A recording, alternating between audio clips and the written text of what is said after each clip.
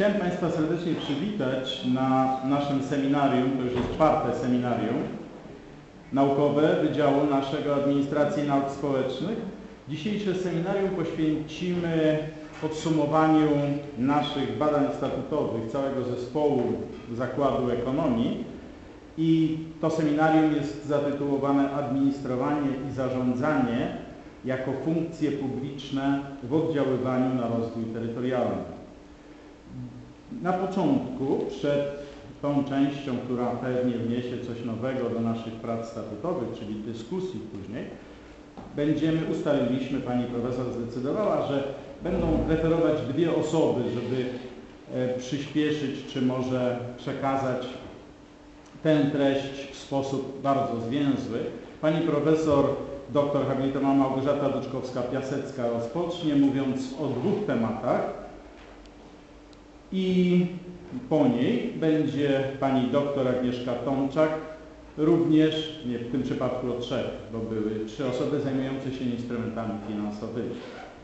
I jeżeli e, pozwolicie Państwo, jeszcze na końcu będzie podsumowanie całości wystąpienia. Znowu poproszę Panią Profesor o dokonanie takiego podsumowania, jakie są determinanty po to, żeby zwrócić uwagę na niektóre szczególne elementy wystąpienia dzisiejszego, a później zaprosimy do dyskusji, którą mam nadzieję również poprowadzę. Bardzo proszę Pani Profesor, oddaję głos, a ja ucieknę żeby... Dziękuję bardzo. Dziękuję bardzo. Tematem mojego wystąpienia będzie konceptu, konceptualizacja funkcji administrowania i zarządzania jako funkcji publicznych.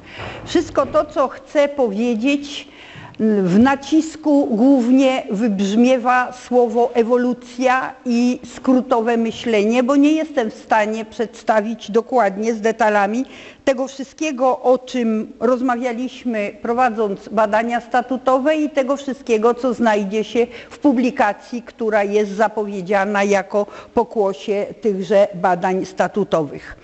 Istota funkcji publicznych jest niezdefiniowana w sposób ostateczny i także, jak wszystkie następne pojęcia, ewoluuje. Istotny jest spojrzenie na funkcje publiczne i w zasadzie wiek XIX dopiero jest tym okresem, kiedy na piśmie definiować zaczynają różni autorzy podejście do funkcji publicznych jako funkcji sprawowania władzy publicznej z różnymi determinantami, które to funkcje publiczne zawierają w sobie odcień administrowania i odcień zarządzania, o czym za chwilę. W zasadzie jak popatrzymy na historię cywilizacji, to można powiedzieć, że te funkcje wypełniane były od zawsze. Tyle tylko, że wypowiadali się na ten temat różni pojedynczy myśliciele także w starożytności, ale dopiero jako nauki wykładane na uniwersytetach XIX wiek przyniósł rozwój właśnie tego rodzaju podejścia. Ewolucja funkcji, pojęcia funkcji publicznych e, Funkcje, pojęcie funkcji publicznych ewoluuje od weberowskiej koncepcji państwa poprzez rolę państwa w społeczeństwie demokratycznym do roli władzy publicznej z punktu widzenia zakresu regulacji w stosunku do roli i miejsca mechanizmu rynkowego. I w zasadzie przez ewolucję wszystkich tych pojęć przewija się jeden wielki znak zapytania, mianowicie to, co chcę, żeby było przedmiotem w razie czego dyskusji. Mianowicie, jakie są związki, a raczej jakie powinny być związki między funkcją administrowania czy zarządzania jako funkcją publiczną, a polityką. I druga kwestia to ile rynku, a ile państwa, czyli władzy przy podejmowaniu publicznych decyzji. Pojęcie funkcji publicznych stało się interdyscyplinarne w miarę jak rozszerzał się punkt widzenia na rozwój. To pojęcie rozwoju także zmienia swoją barwę, jest coraz bardziej wieloaspektowe, Przekroczyło bowiem granice ekonomiczne, objęło dorobek ekologów, prawników, socjologów, filozofów i zostało zawarte w koncepcji trwałego rozwoju zrównoważonego. A to oznacza, a to oznacza, że jeśli najbardziej skrótowo i najbardziej lapidarnie określimy rozwój jako wzrost czy zmianę ilościowych i jakościowych mierników charakteryzujących bogactwo, to w miarę upływu czasu, w miarę rozwoju społeczno-gospodarczego w różnych krajach, ta jakość życia i mierniki, które ją mierzą, są coraz bardziej rozległe, obejmują coraz to różne aspekty. W ten sposób one nie są jednoznaczne, tylko ewoluują tak, jak ewoluuje rozwój gospodarczo-społeczny. No i pytanie wreszcie administrowanie czy zarządzanie. Terminy te miały wspólne korzenie i mniej więcej w końcu XIX, w początkach XX wieku funkcjonowały niemalże łącznie w ten sposób, że na przykład Fajol administrację włączył jako jedną z funkcji zarządzania, administrowanie. Później w miarę upływu czasu te terminy zaczęły się rozchodzić i tutaj mamy podanych kilku autorów, którzy przyczynili się do utworzenia przełomowych poglądów w tej dziedzinie w taki oto sposób, że możemy właśnie mówiąc o ewolucji wyraźnie wyodrębniać etapy tej ewolucji.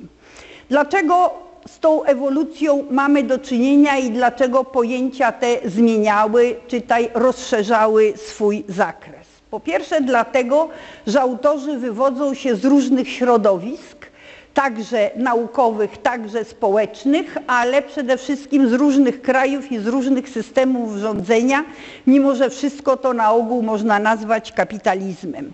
Po drugie, autor, każdy jest jakiś i każdy z tych autorów prywatnie reprezentuje zawsze swój stosunek albo do obecnie sprawowanych rządów, albo do systemu władzy i rzecz prosta daje wyraz w swoich poglądach. W ten sposób jest raczej za ingerencją państwa, albo przeciwnie, na przykład przeciwko większej ingerencji, za mniejszą ingerencją, no i oczywiście znajduje to wyraz w jego poglądach.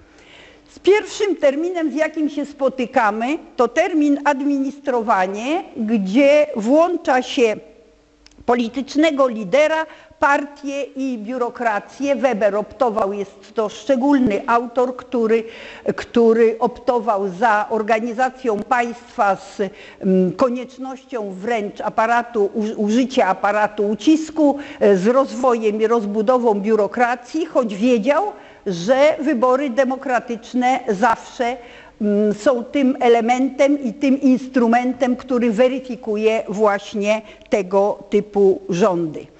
Otóż administrowanie staje się z biegiem czasu widziane jako administrowanie publiczne, nakierowane na postrzeganie prawa, procedur, monopol sektora publicznego i hierarchię władzy.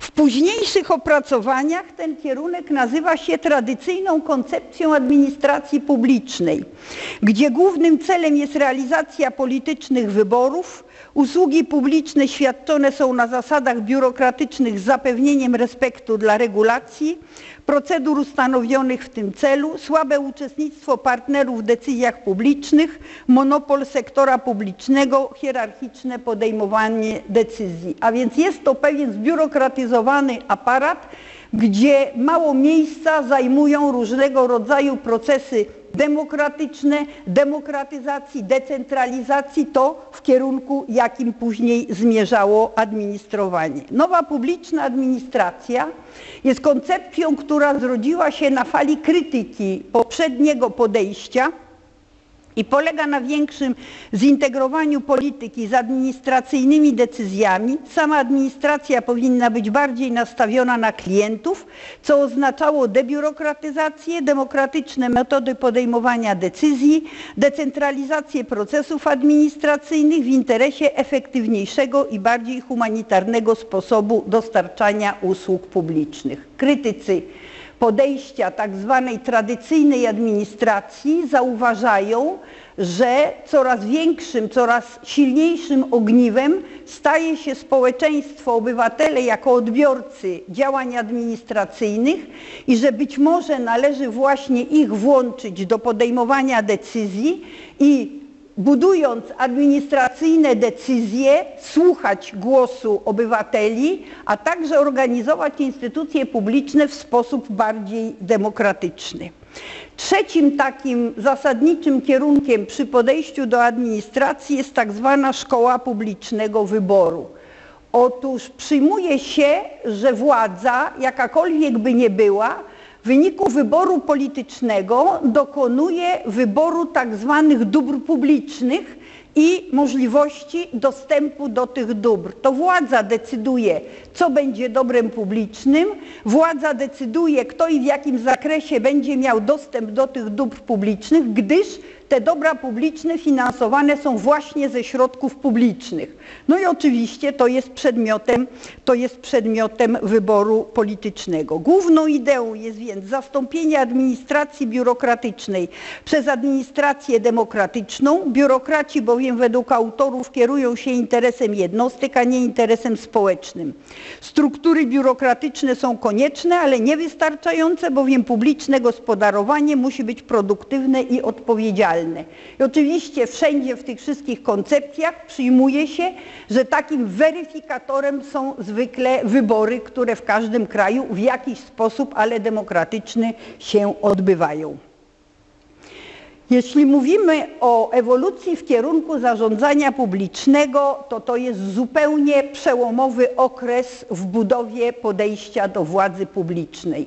Stało się to po kryzysie w Stanach Zjednoczonych lat 30., ale tak naprawdę w latach 50., 60., kiedy poszczególne kraje, zwłaszcza Stany Zjednoczone w sposób świadomy budowały interwencjonizm państwowy i odpowiedzią autorów na ten interwencjonizm jest właśnie myśl oto taka, żeby uwzględnić rynkowe reguły gospodarki i może zbliżyć władzę publiczną do tego, iżby te reguły rynkowej gospodarki uwzględniła.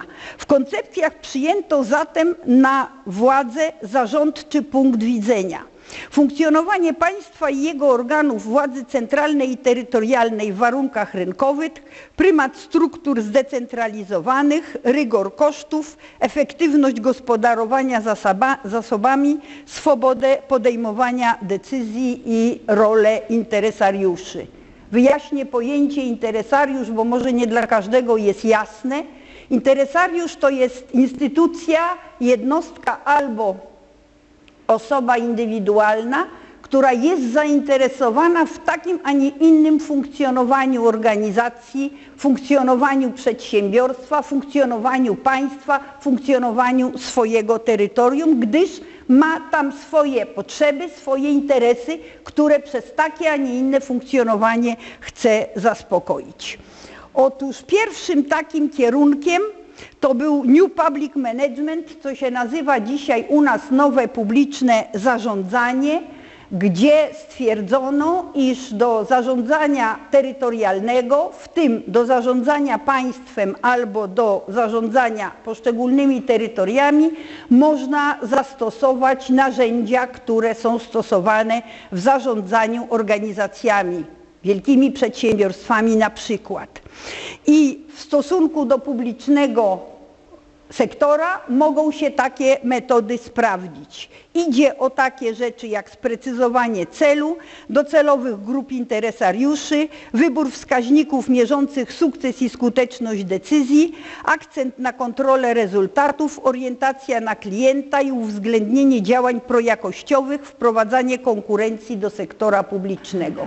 Dwie rzeczy mogą tutaj nasuwać wątpliwości, mianowicie orientacja na klienta oraz wprowadzenie konkurencji do sektora publicznego. Jeśli idzie o orientację na klienta, to trzeba pamiętać, że władza publiczna nie ma przed sobą jednego rodzaju klienta. To nie jest tłum obywateli, to nie jest masa społeczeństwa, tylko to są właśnie różni interesariusze i należy w podejmowaniu decyzji zarządczych w tym podejściu podejmować w taki sposób decyzje, iż by uwzględniać różnice między potrzebami poszczególnych grup interesariuszy i stosować do nich odpowiednie właśnie metody, posługując się różnymi instrumentami. Jeśli idzie o konkurencję w sektorze publicznym, to dlatego o tym mówimy, że w różnych krajach do sektora publicznego zalicza się różne jednostki, taką sporną grupą całą jednostek publicznych są na przykład jednostki w służbie zdrowia i w związku z tym przy tym różnym zaliczaniu szerszy lub węższy jest pojęcie sektora publicznego, w gospodarce rynkowej możemy mówić, ba nawet wpływać na to, żeby była większa konkurencja. Kolejnym takim kierunkiem, który także jest w dziedzinie zarządzania przy użyciu instrumentów zarządczych jest New Public Services, gdzie punktem wyjścia jest obywatel, wspólnota czy społeczeństwo. Można powiedzieć, że jest to ten sam kierunek, tylko bardziej uspołeczniony, bardziej zdemokratyzowany. Naczelnym celem jest wspomaganie i zaspokojenie potrzeb obywateli. Interes obywateli staje się interesem strategicznym. Przy podejmowaniu decyzji obowiązuje dialog, negocjacje. W strukturach zwiększa się ilość organizacji pozarządowych jako partnerów władzy. Odpowiedzialność ponosi władza na podstawie prawa, norm, wartości i interesu obywateli. Czyli jest to właściwie ukierunkowane raczej na sposób podejmowania decyzji z uwzględnieniem potrzeb poszczególnych grup, niż na same decyzje, które dotyczą na przykład zagospodarowania majątku, zużycia zasobów w taki, a nie w inny sposób, wreszcie wybór celów strategicznych czy operacyjnych, co jest właściwe dla metod zarządzania.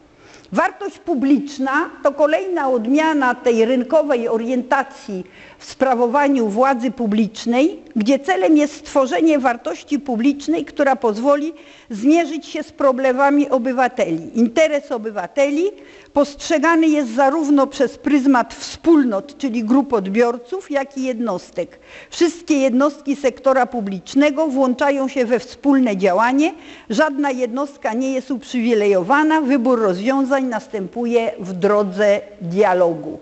To oznacza, że władza publiczna odpowiada za zbudowanie wartości, takiej wartości, którą cenią poszczególne, czytaj każda z grup. A więc najpierw władza musi się zapoznać, jaką wartość ceni dana grupa społeczna, po to, żeby właśnie w tym publicznym działaniu taką wartość przygotować. Kiedy pisałam swego rodzaju książkę na podobny temat, użyłam sformułowania łańcuch wartości publicznej, na podobne określenie w zarządzaniu przedsiębiorstwem o właśnie łańcuchu wartości. Otóż ten łańcuch wartości publicznej moim zdaniem mógłby skupiać jednostki z nazwy, z imienia i z nazwiska i rodzaj współpracy i powiązań między nimi w przygotowywaniu właśnie wartości dla poszczególnych grup interesariuszy na każdym terytorium. Wreszcie good governance oznacza zarządzanie publiczne oparte na następujących charakterystykach. Współuczestnictwo,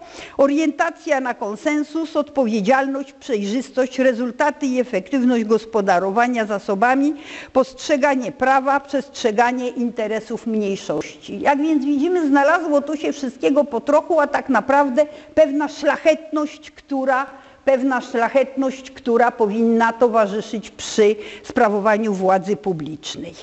Istnieje problem jakości w administracji publicznej.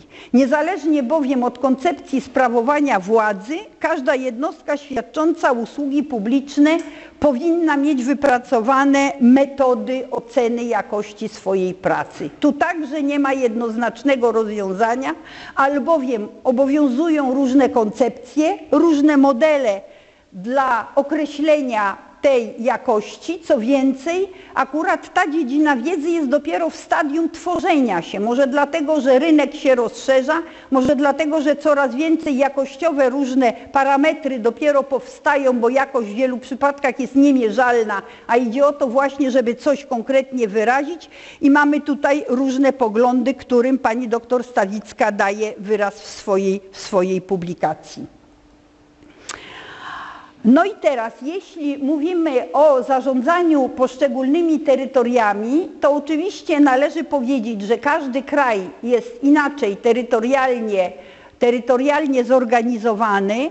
My mamy u siebie trójszczeblowy podział administracyjny kraju, który oczywiście niesie ze sobą skutki polityczne, ekonomiczne, społeczne, kulturowe i środowiskowe, ale tak czy owak, czy pion samorządowy, czy pion rządowy do poziomu województwa, władza publiczna z ekonomicznego punktu widzenia odpowiada za bezpieczeństwo i za rozwój.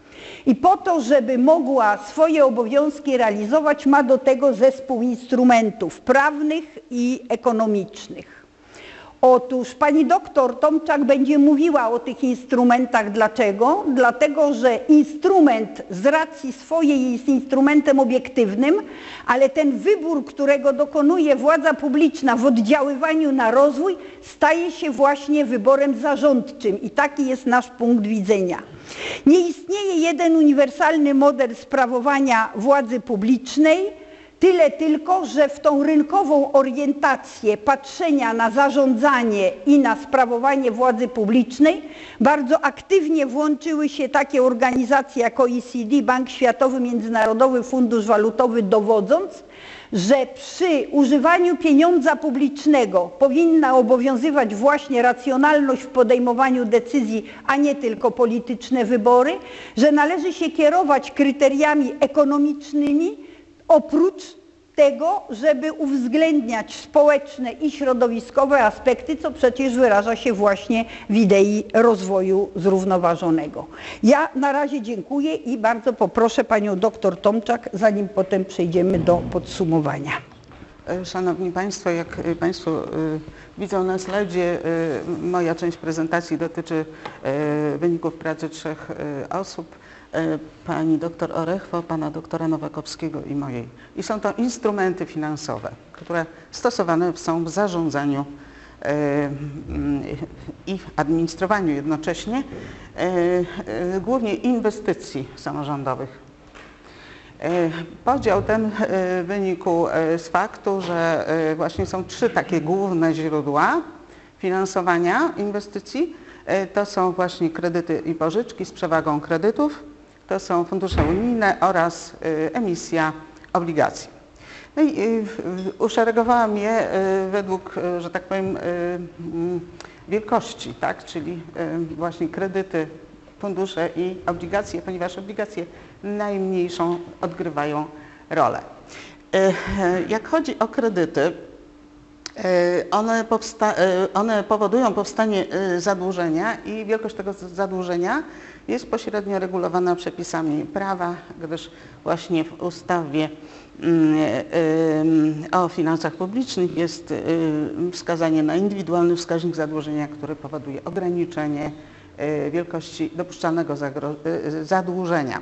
Jest to powiązane również z innymi instrumentami stosowanymi przy zarządzaniu długoterminowym finansami e, jednostek samorządowych, ponieważ mm, jest to powiązane z wieloletnią prognozą finansową oraz zalecanym obecnie instrumentem, e, którym jest budżet zadaniowy. I on powinien być wieloletni, jak również ta wieloletnia prognoza finansowa, która e, powinna obejmować rok bieżący i trzy lata do przodu, jest e, ustalana w sposób kroczący.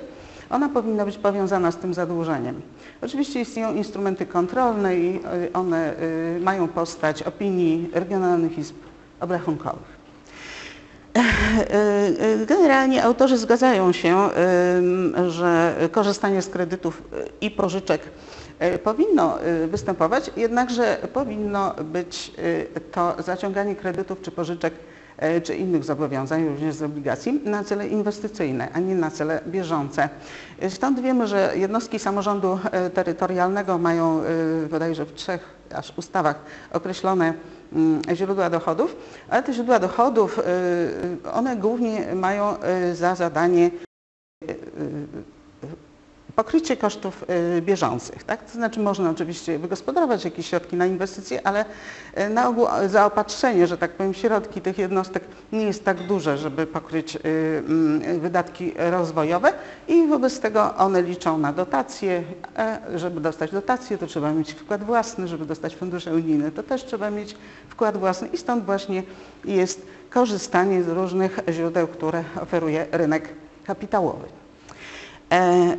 Tak, e, mm, kie- przyszłe korzyści z inwestycji powinny przewyższać koszty obsługi e, zadłużenia, tak? Czyli tutaj mamy do czynienia z takim podejściem biznesowym, co w firmach przybiera postać kosztu kapitału oraz stopy zwrotu zainwestowanego kapitału. Tak więc porównujemy te korzyści i koszty i jeżeli uznajemy, że mm, rzecz jest warta mm, zaangażowania tych środków, to podejmujemy decyzję o e, zadłużeniu. E, Jak Państwo tutaj widzą, e, w strukturze zobowiązań ogółem kredyty i pożyczki stanowiły około 90%, a momentami więcej. Także to jest, że tak powiem, lwia część zadłużenia. Pozostała część to papiery dłużne, wśród których dominują zdecydowanie obligacje, a te obligacje mają coraz dłuższe okresy wykupu. E, Za pomocą kredytów e, finansowany jest na przykład wkład własny przy dotowanych projektach inwestycyjnych, tak? czyli to są dotacje e, z budżetu centralnego, to są dotacje unijne i po prostu trzeba mieć wkład własny, nie zawsze tych środków własnych wystarcza, w związku z tym właśnie zaciąga się zobowiązania. Najwięcej tychże właśnie projektów zrealizowały miasta na prawach powiatu oraz gminy. W ogóle miasta na prawach powiatu, mm, zwłaszcza duże ośrodki regionalne, e, przodują w korzystaniu ze wszystkich tych źródeł. E, Poza tym jeszcze mamy wsparcie preferencyjne, czyli istnieje możliwość e, otrzymania kredytu lub pożyczki na warunkach preferencyjnych, czyli z niskim oprocentowaniem i do tego powołane są agendy e, rządowe w postaci funduszy, na przykład Narodowy Fundusz Ochrony Środowiska i Gospodarki Wodnej, tutaj tu inne wymienione, nie mam czasu tego wszystkiego czytać. Natomiast jeszcze można korzystać też ze źródeł zagranicznych, co jednak, jak tutaj dalej wyświetlę, niewielką część e, w ogóle e, stanowi, tak około 20%, a źródła krajowe zdecydowanie e, przeważają. Znaczenie. Y, Otóż okazuje się, że kredytem bankowym pokrywano niewielką część działalności bieżącej. To są takie nagłe potrzeby. Tak? One wynikają również y, z chronologii wpływania y, dochodów, czyli mają charakter również przejściowy. No, Mają wiele zalet, można łatwo dostosować się do specyfiki finansowania projektów samorządowych, tak, czyli właściwie mają bardzo szerokie zastosowanie. E, Druga część e, mojej prezentacji to dotacje unijne i w zasadzie e, mm, tutaj mm, te środki pomocowe z Unii Europejskiej pomogły w Polsce mm, osiągnąć pewien poziom, pożądany poziom, że tak powiem, rozwoju cywilizacyjnego, czyli podnieść jakość realizowania funkcji socjalno-bytowych, prawda? Czyli to są takie rzeczy jak wodociągi, kanalizacja, transport miejski i tym podobne e, usługi, które są niezbędne do funkcjonowania społeczności lokalnych. Oczywiście drogi, e, ale również infrastruktura szkolna i tak dalej. E, W tym celu mm, y, y, właściwie y, trzeba zadbać, w tym celu, żeby podnieść dochód, y, y, między innymi dochód własny, na przykład na terenie gminy, czy dochody ze środków własnych określone jako e, udziały w PIT i CIT e, w powiatach oraz województwach, no to należy mm, najpierw y, mm, osiągnąć pewien stan zaludnienia i- pewien stan, że tak powiem, przedsiębiorczości na danym terenie, tak? Czyli te przyszłe wpływy zależą od teraźniejszych inwestycji, od możliwości y, zachęcenia y, zarówno ludności, jak i y, biznesu do lokalizacji na danym terenie. Wiemy bowiem, że część terenów Polski się niestety wyludnia i tam są bardzo duże problemy z dochodami y, gmin na przykład, bo po prostu, a jeszcze gmin, to y, y, również powiatów, prawda, bo to dotyczy też wpływu z podatków tych ogólnopolskich, czyli PIT-u i CIT-u na tym, na terenie danej jednostki samorządowej. Czyli proszę Państwa, trzeba po prostu, aby władze lokalne e, okazały tutaj pewien poziom, że tak powiem, przedsiębiorczości w pozyskiwaniu tych środków i miały koncept na rozwój e, w danym mm, e, e, regionie, czy powiecie, czy też gminie. Zdaniem samorządowców oni często narzekają, że e, nakłada się na nich duże obowiązki, a e, nie idą za tym odpowiednie kwoty e, pieniężne. W Polsce to jest, to jest oczywiście wszystko zależne od, tym, od tego, co pani profesor mówiła, to znaczy od tego, jaki jest układ administracyjny, czyli ustrojowy kraju, tak, czyli po prostu jak te dochody y, są zbierane i rozdysponowywane między jednostki mm, sektora. I e, zadania rozwojowe, e, które e, właśnie mają być finansowane z tych kredytów, środków unijnych czy też emisji obligacji, powinny być, właści- właściwie one mają taką strukturę, że, że mogą być i powinny być finansowane e, właśnie przez źródła długoterminowe, bo jak chodzi o, mm, o dotacje e, na bieżące potrzeby, czy też e, po prostu wpływy z tych podatków, to e, one się po prostu rozchodzą zwykle na bieżące mm, koszty. E, W Polsce mm, e, e, oparty jest ten system na, do, na dochodach transferowych, zwłaszcza jak chodzi o powiaty i województwa. Czyli e, władztwa, władztwo pod- podatkowe jest ograniczone, co prawda gmina ma pewien, tutaj mm, pewną możliwość kształtowania wysokości podatków, ale są też ustawowo ograniczone limity górne. Także w zasadzie mają dużo źródeł tego finansowania te gminy, ale możliwość manewru nie jest duża w ramach tych uprawnień. E, No i przejdę może dalej. E, Tutaj mamy te udziały w PIT i CIT e, wraz ze zjawiskami, które temu towarzyszyły, a opisane one zostały przez pana doktora Nowakowskiego.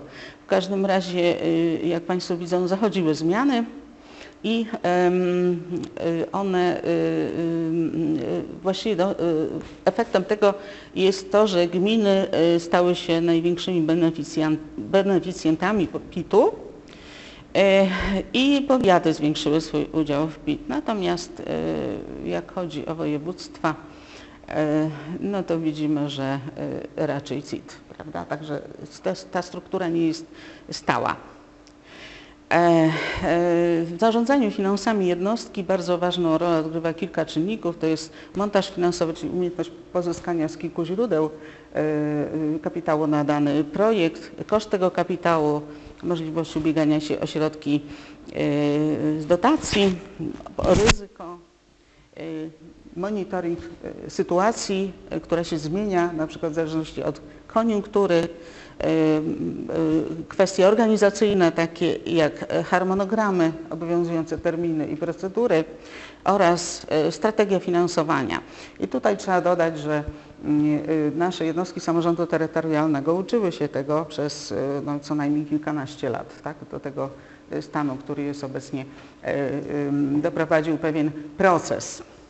I tak właśnie pierwsze programy unijne mieliśmy dla jednostek samorządu po e, przystąpieniu do Unii e, Europejskiej. To jest integrowany program operacyjny rozwoju e, regionalnego i on miał w dużej e, mierze charakter e, trochę taki edukacyjny, to znaczy, żeby wprawili się samorządowcy w e, ubieganie się o te e, środki.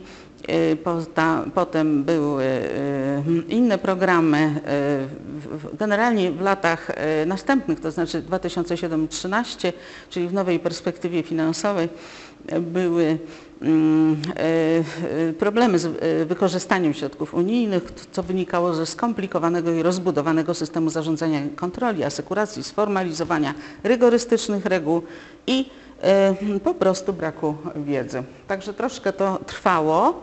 mm, administracja uczyła się podejścia mm, do tych wniosków i okazało się, że, że y, stopniowo się sytuacja poprawiała, tak? Czyli y, tutaj mamy informację, że ponad 1% PKB, a 2% wszystkich środków publicznych mm, należy przeznaczyć na rozwój regionalny tylko dlatego właśnie, że- żeby pokryć koszty środków własnych w projektach. Także jest to też ogromne zadanie y, dla rynku kapitałowego, tak? czyli po prostu trzeba skądś te pieniądze wziąć. No i mamy dalsze e, perspektywy. Jak Państwo widzą, jest w tej chwili e, perspektywa finansowa 2014-2020. Mamy tutaj kilka funduszy. Europejski Fundusz Rozwoju Regionalnego, Społeczny, Spójności, Fundusz Rolny na rzecz Rozwoju Obszarów Wiejskich oraz Europejski Fundusz Morski i Rybacki, więc wybór jest duży. No i proszę Państwa, każdy z tych funduszy pełni pewną funkcję, można się ubiegać o środki.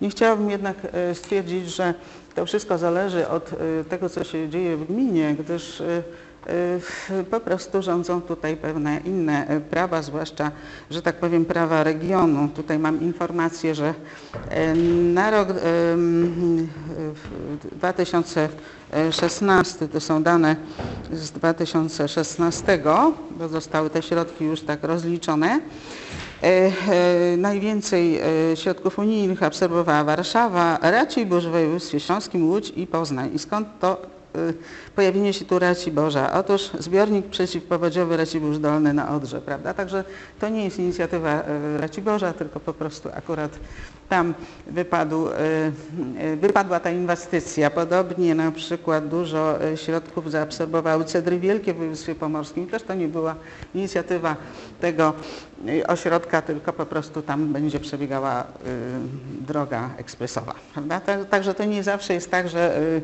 y, niski poziom absorpcji zależy od miejscowych urzędników, tylko zależy po prostu od rozwoju, y, jaki y, mamy y, w planie. E, No i kontynuując, proszę Państwa, e, oczywiście jest to wszystko e, zależne od przyjętego modelu, zwłaszcza od stopni, stopnia decentralizacji i od kapitału ludzkiego, czyli po prostu podkreśla się właściwie we wszystkich opracowaniach, które ja miałam w rękach i też u pana doktora Nowakowskiego w tym tekście, że rola kompetencji, wiedzy bardzo dużą, duże ma znaczenie, tak? czyli przede wszystkim umieć to robić. E, e, Przechodzę do obligacji komunalnych i e, tutaj proszę Państwa na początek mam wykres ukazujący Polskę na tle innych krajów, wybranych krajów unijnych. E, No oczywiście przodują Niemcy, ale to o- o tym decyduje ustrój federalny, który tam jest. Także tam są landy i po prostu one e, prowadzą bardzo samodzielną gospodarkę, a Polska na tle mm, mm, krajów, e, które e, są w regionie, no nie wypada e, źle, prawda? Także to jest e, taka nasza specyfika, ale ja na przykład usiłowałam badać rynek czeski i tam prawie nic nie ma, prawda? Także e, będę mówiła, że u nas nie jest za dobrze rozwinięte, ale w ościennych krajach jest jeszcze gorzej, także e, niekoniecznie musimy się tym martwić. E, e, rozwój. E, Proszę Państwa, więc generalnie się powiększał ten udział obligacji komunalnych oraz wartość. Jednak w całości rynku długoterminowych papierów dłużnych jest to niewiele. Jest to niewiele i one nie nadążają za innymi segmentami rynku. E, Także kształtowało się to w przedziale e, 1,1-1,6 e, do 2009 roku, a w e, następnym okresie do około e, m, 3, 3,1% urosło. Natomiast na przykład rynek e, obligacji korporacyjnych zwiększył się ponad czterokrotnie. Także powoli, powoli to przebiega.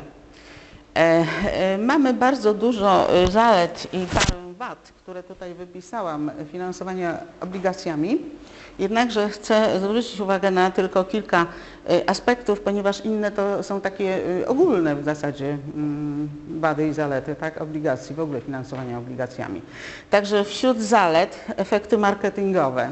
Otóż wiele firm w początkowym okresie takiego entuzjazmu wprowadzało, znaczy wiele, przepraszam, samorządów oczywiście, wprowadzało mm, obligacje na giełdę y, na rynek katalist po to, żeby się zaprezentować. Prawda? To był bardzo silny efekt marketingowy i niektóre otwarcie po prostu y, y, głosiły to, że w celu po prostu reklamowym.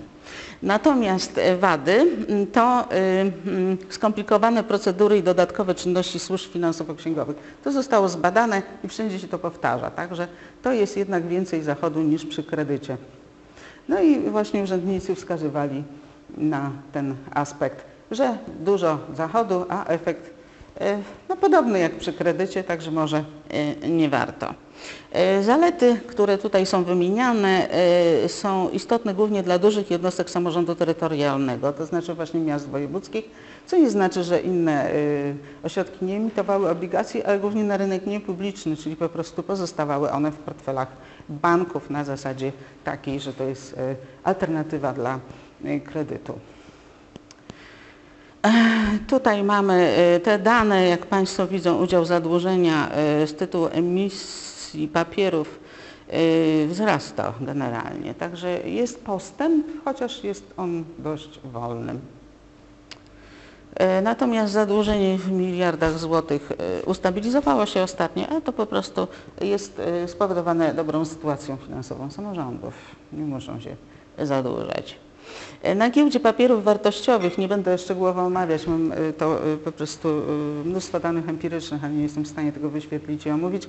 Chciałam powiedzieć o oprocentowaniu, bo tam to oprocentowanie jest widoczne, więc to jest ten najniższy słupek, tak? czyli jest niższe z powodu ni- niższego ryzyka, ale również płynność jest bardzo niska. Otóż na giełdzie prawie się nie handluje tymi obligacjami. Ostatnie e, dwa lata to praktycznie e, jednorazowe transakcje co jakiś czas obligacjami Warszawy i, i to wszystko. Mało tego, e, mm, samorządy, które kiedyś wyemitowały te obligacje na giełdzie, one po wykupieniu emisji już jej nie powtarzają. Także no, to znaczy nie zawsze tak jest, ale w większości przypadków niestety tak jest. To znaczy nie, nie rozpopularyzował się ten e, e, sposób e, finansowania. I tutaj mam jeszcze ciekawostkę Siedlce. Najdłuższy termin wykupu 21 lat, generalnie to jest między e, 8 a 9 lat, także to jest długoterminowe finansowanie, a Siedlce na 21 i oni tak sprytnie sobie rozłożyli właśnie mm, wykup, żeby e, nie e, naruszać przepisów ustawy o finansach publicznych, że co roku jakaś seria jest wykupowana i emitowana. Także sobie tak krocząco właśnie rozłożyli to finansowanie bardzo sprytnie. E, No i podsumowanie. E, Na początku był okres optymizmu, e, potem była zmiana ustawy i to spowodowało wysyp obligacji, dlatego że e, w perspektywie kilku lat dopiero miały e, być wdrożone te przepisy i zawczasu jakby te samorządy wyemitowały sobie te obligacje, żeby już te nowe przepisy nie, nie dotyczyły tego długu. Także też mieliśmy taki wysyp i w porywach było to na, na przykład na giełdzie mm, 60 serii 20 emitentów, e, tak, tak, to był rok 2014, najwięcej serii i najwięcej emitentów, bo było ich 20. Także e, potem jakby e, wygasająco. E, e, No i e, w zasadzie nie można e, tutaj jakichś e, wniosków uogólniających wysnuć, czyli to wszystko e, jest płynne. Im mniejsze ośrodki, im większe emitują i niepubliczne i właśnie tutaj e, na giełdzie. E, Generalnie większość obligacji jest w portfelach banków, tak? czyli nawet taką informację odczytałam niedawno właśnie na stronie giełdy, że jakiś z tych, któreś z tych obligacji zostały mm, jakby zawieszone i tak nie ma nimi obrotu, ale zostały zawieszone, bo nie podano kuponu. Tak jest taki obowiązek, żeby podawać e, jaki jest kupon. Na bieżący okres nie podano, a potem się okazało, że to po prostu bank, który e, e, znaczy pośredniczył w emisji em, tych obligacji, objął te obligacje, one są zarejestrowane na giełdzie i nikt nimi nie handluje, ale zapomnieli e, poinformować giełdę, jaki jest kupon, który sami naliczyli i sami wzięli. Prawda? To jest na tej dziwnej... Słucham? E, No i proszę Państwa, E, Głównie środki służyły na e, inwestycje e, w obszarze infrastruktury drogowej, wodno-kanalizacyjnej, ochrony środowiska, modernizacji zabudowy miast itd. Nowością oczywiście były obligacje e, e, przychodowe, o których też już nie mam chyba czasu powiedzieć, ale one się też nie za bardzo przyjęły. E, Obligacje przychodowe wyemitowały By- Bydgoszcz, e, Łódź, Gdańsk, Gniezno, znowu Bydgoszcz, Lublin, Nysa, Wałbrzych, a najaktywniejszy ostatnio jest Wałbrzych, także to też niezbyt dużo dało takie urozmaicenie. E, No i co e, w związku z tym? E, No szereg postulatów, tak, żeby się ten instrument rozpropagował zamiast tych właśnie tradycyjnych kredytów, no to należałoby podnieść stan wi- wiedzy, mm, złagodzić formalności. Przy tym zwłaszcza narzekają samorządy na regionalne izby obrachunkowe i proponuje się je zastąpić, to znaczy te opinie zastąpić oceną kredytową przez agencje ratingowe. Także mm, to podobno byłoby lepiej. Y, Dalej, y, może, jest taki pomysł utworzenia agencji lub banku pośredniczącego. Chodzi o to, że y, obligacje, żeby się opłacały, to muszą mieć duży wolumen emisji i po prostu te gminy, które chciałyby być, być może wyemitować te papiery, to y, one nie mogą takiej, y, takiego wolumenu wyemitować, ale gdyby była taka instytucja, która pośredniczy i zbierze potrzeby z wielu ośrodków, to mogłaby ona właśnie takie papiery wyemitować. To jest taki pomysł, który jest w Skandynawii e, realizowany. No i proszę Państwa, ulgi podatkowe ewentualnie można by dla mieszkańców, którzy zakupują obligacje, y, y, zaproponować, y, mieszkańców oczywiście tego terytorium, gdzie są emitowane oraz lepsze planowanie i budżetowanie w perspektywie wieloletniej. To jeszcze wciąż nie jest za dobrze rozwinięty aspekt zarządzania. No i konkluzja taka, że największe rezerwy tkwią w potencjale intelektualnym, rozwiązaniach instytucjonalnych, czyli doskonalenie przepisów, procedur. Można także y, y, poprawić rozwiązania ustrojowe oraz y, ich powiązania z finansami. Generalnie, już w sumie mam na myśli te trzy części, więc kończę. Y, Jednostki samorządowe dysponują y, wieloma możliwościami finansowania y, i mogą dokonywać tego montażu, tak? czyli z różnych źródeł brać środki na przedsięwzięcia. Można zaobserwować duży postęp w posługiwaniu się tymi instrumentami, ale publiczny rynek kapitałowy jest dość jeszcze zamknięty, także raczej właśnie e, inne instrumenty są używane. Ponadto zachodzi współzależność między realizowanymi przedsięwzięć rozwojowych w jednostkach i późniejszymi dochodami z PIT-u i CIT-u zwłaszcza, co powinno stymulować te jednostki do aktywności inwestycyjnej i właśnie tego długoterminowego finansowania, projektowania przedsięwzięć, tak? czyli takie właśnie podejście, które jest charakterystyczne e, bardziej dla biznesu.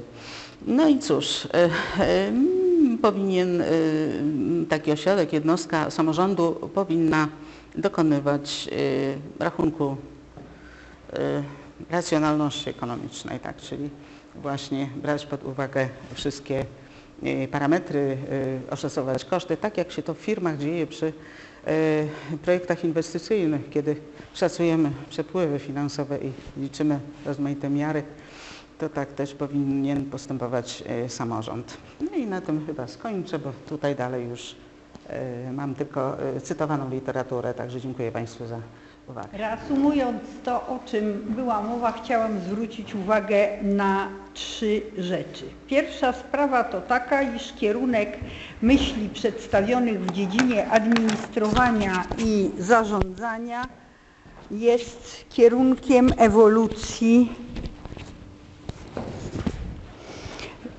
przynoszącej uspołecznienie działań, partycypację w podejmowaniu decyzji, czyli udział różnych grup społecznych, różnych interesariuszy w podejmowaniu decyzji, decentralizację i spłaszczenie struktur decyzyjnych, co oznacza dla wielu demokratyzację podejmowania decyzji i sprawowania funkcji publicznych. Gdybyśmy mieli ostatecznie stwierdzić, co to jest administrowanie, a co to zarządzanie w odniesieniu do funkcji publicznych, to po pierwsze obie te funkcje się nie wykluczają, a wręcz każda z nich jest konieczna po to, żeby współdziałała z drugą. Uważam, że tam, gdzie mamy do czynienia z podejmowaniem decyzji w oparciu wyłącznie o ustanowione prawo, przepisy, normy, formalne zasady, procedury, to mamy do czynienia z administrowaniem. Tam, gdzie mamy swobodę podejmowania decyzji, gdzie dokonujemy, mamy możliwość wyboru spośród różnych opcji przyjętych jako racjonalne do uzyskania określonych rezultatów.